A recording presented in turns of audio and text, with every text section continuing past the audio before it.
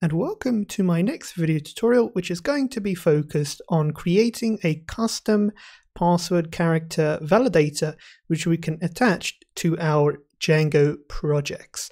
So as you can see here was what we can do with it is we'll be able to go ahead and modify the default auth password validators list and we can add in our own peripherals here accordingly in terms of the minimum length of the digit, the minimum length of alphanumeric characters, special characters, lower and uppercase characters as well, as well as attaching our own list of special characters.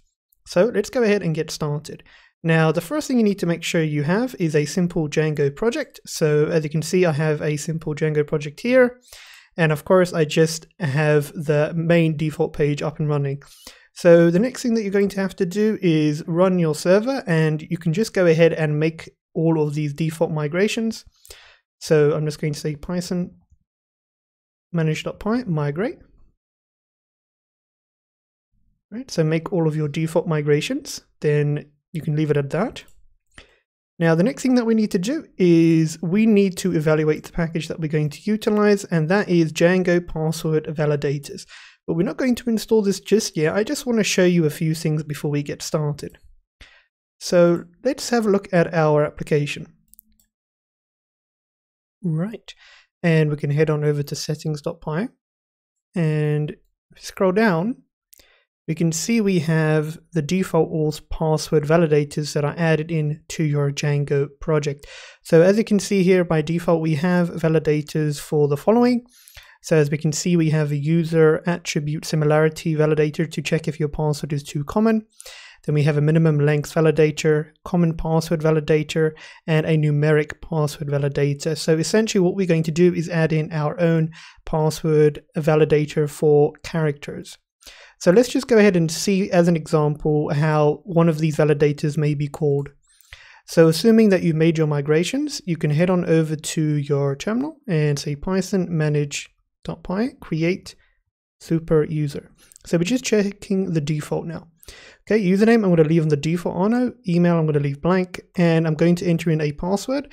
And I'm just going to add in something simple. So I'm just going to add in a four character password. So I'm just going to call this pass, enter pass, enter and here we can see it tells me okay this password is too common and this password is too short. It must contain at least eight characters. So we can see that validation being called here from the default auth password validators. And for those that are wondering the password I chose was PASS and that's all I added in just to test it so we're not going to bypass this validation or anything like that. So I'm just going to press Control and C and cancel that operation. So you can see how this comes into play here with the default authentication password validator. Now what we're going to do is add in our own password validator specifically to look at our characters. So what you can essentially do is, let me zoom out here, you can just go ahead and comment this out. I just first want to stop my, yeah, my server stopped. And you can just go ahead and comment this out. There we go. So we've commented that out. Now the next thing that we can do is go ahead and install this package. So Django password validators. Make sure you're in your virtual environment and install Django password validators. Right, there we go, it's been installed. Let's scroll down and the next thing that we need to do is go to the second section and you want to add in Django underscore password validators to installed apps. Now you don't need to migrate anything. That's the good thing about this part. And you can add that in like so. Right. So now that you have that in place, you can go ahead and scroll down. And here by auth password validators, you want to head on back to this documentation on this uh, main page for the package. And you want to copy this list here of auth password validators and you can paste this in here. Just be sure to remove the dots here. And there you go.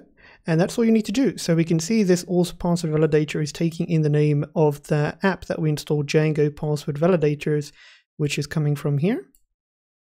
And of course, as we can see all of the various constraints. So if I can zoom in here, the minimum length of digits, so how many numbers you can have, how many alpha uh, numeric characters you should have, the minimum length of special characters. And here you can see we designate what we consider to be a special character, the uh, minimum amount of lowercase ca uh, characters and uppercase um, characters, or letters, should I rather say.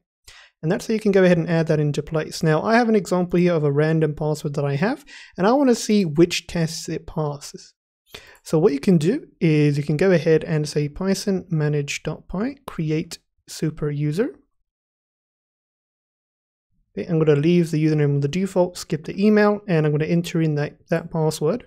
I'm going to copy that, paste it in, and again, and here we can see, okay, this password must contain at least three special characters, which implies that all of the tests here have been passed. So the uppercase, um, um, you could say the uppercase um, constraint, lowercase, alphanumeric, and digital. However, the minimum length of special characters is three, and I do not have any at all. So we need to go ahead and fix that. So I'm going to cancel this. And let's go ahead and alter everything accordingly. Right. So what I'm going to do is I'm just going to add in three characters and I can see from my list here what is acceptable. So I'm going to add in an opening and closing parentheses. That's going to count as two. And then I'm going to add an exclamation mark and that will be three. So I'm going to copy that and save it. And then let's go to our terminal and rerun create super user. All right, skip that, skip that. Password time. I'm going to go ahead and copy this. Right click, enter, right click, enter, and super user created successfully. So let me show you another example here to test uh, another constraint. So let's say we want to test the digit. So you need at least one number per se. So what I'm going to do is I'm going to attempt to create another super user. Username, I'm just going to put honor 2, email skip, password, okay. I'm going to remove all the numbers here. So I have 26, remove both of that. I have no more numbers as you can see here in this password. And the main constraint here is to at least have a digit, so one number at least. So now I'm going to copy this here without a number. Again, and as you can see here, the constraint comes up that it must contain at least one digit. So you can see here that this is currently being passed through and that validator is working correctly as it should. Right.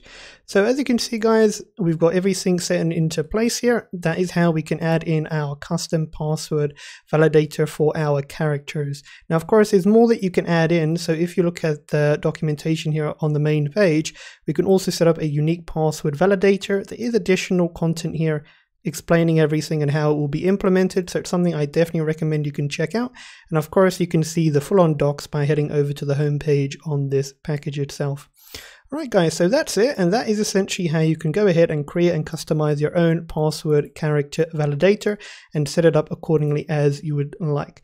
So that's it guys and as always, thank you for support and I'll see you next time.